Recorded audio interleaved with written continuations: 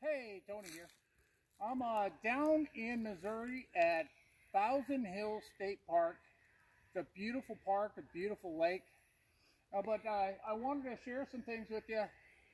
It's a couple of different trees.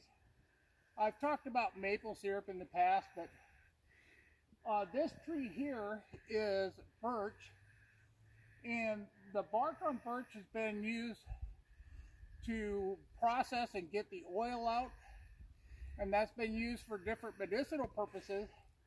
But what I wanted to talk about here is uh, extracting this sap the same way that you would for maple syrup to make birch syrup.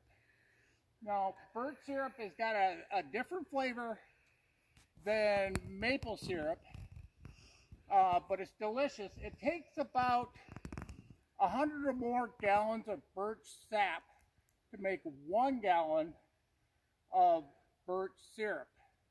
And you do that by cooking it down.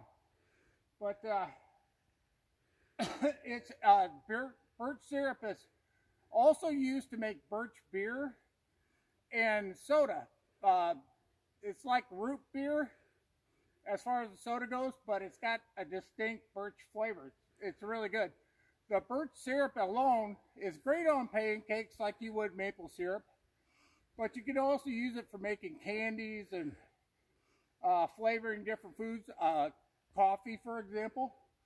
Um, and also behind me here, in the distance, the bigger trees with the distinct white top is sycamore, American sycamore, and you can extract the sap on that also.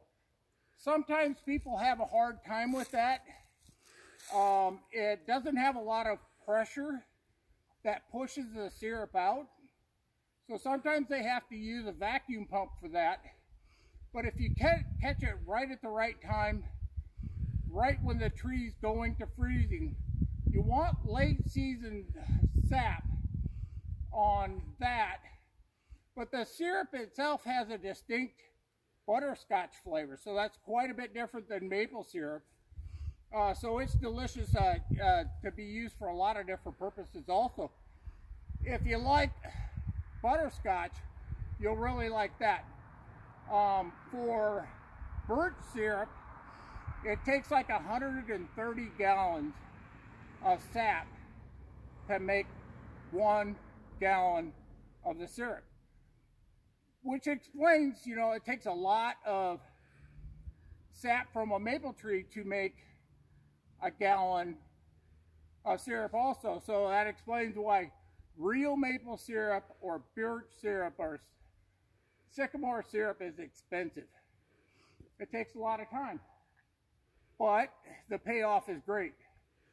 So birch here uh, sycamore in the back. And uh, boy, you know, if you're uh, actually collecting the, the syrup on birch trees, for example, they're usually in a pretty big clump, quite of them, uh, quite a few of them together. And this is actually kind of a smaller example. Uh, so you can collect a lot of syrup in not that much time, really. So just wanted to share that with you while I was down here in Thousand Hill State Park. It's right outside of Kirksville, Missouri. Beautiful park. If you get a chance, come down and visit it. Thanks much for watching. Have a great day.